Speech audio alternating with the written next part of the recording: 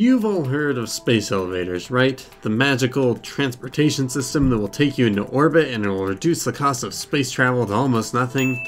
Yeah, those. And I'm sure most of you have seen plenty of videos describing these machines, but I'm going to give you a quick refresher anyway. This is a space elevator. Okay, that's it. I'm sure those videos you watched covered it in plenty of detail, so there's not really any need to do it here. I'm sure those videos also mentioned some potential problems with the space elevator design, and they said they could be fixed by carbon nanotubes. Well, they were wrong. There's one fatal flaw in the space elevator design, and there is no material that will ever be able to overcome it. It's one of the dangers that spacecraft already face, only it's going to be much worse if we try to build some carbon nanotube tethered to geostationary orbit. It's space junk.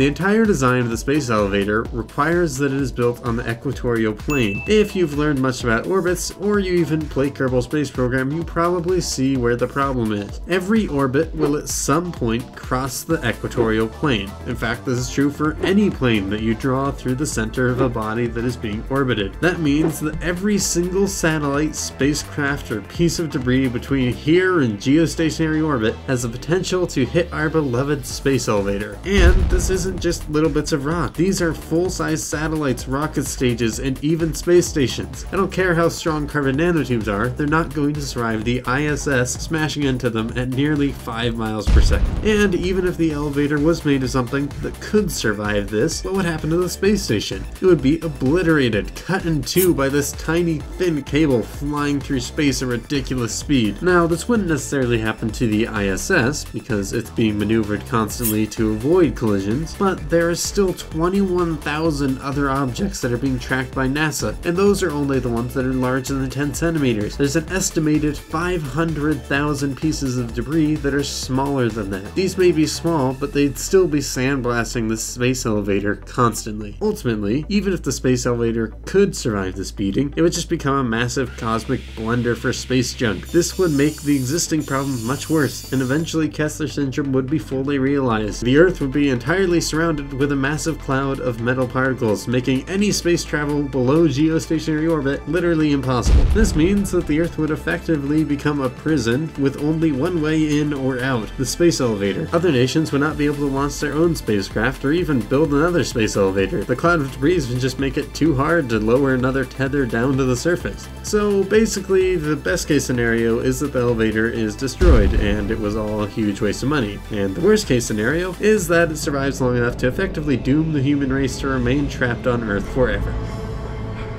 But that's all just theory. If you have your own ideas about this, or have an idea of how we could avoid these horrible problems, feel free to comment below, and subscribe to see more space-related videos or videos of whatever I felt like filming. I really don't know.